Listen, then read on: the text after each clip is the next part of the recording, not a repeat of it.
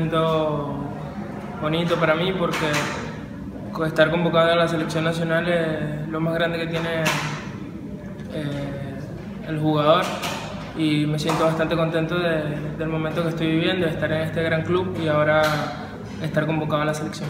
¿Y cuál es la expectativa para estos dos juegos en el eliminatorio? Eh, bueno, mis expectativas son ir para, para, ganar, un partido contra Colombia muy difícil, contra Argentina bastante difícil, pero, pero confío en mis compañeros, en mi selección, en Venezuela y, y voy con la, con la mentalidad de ganar.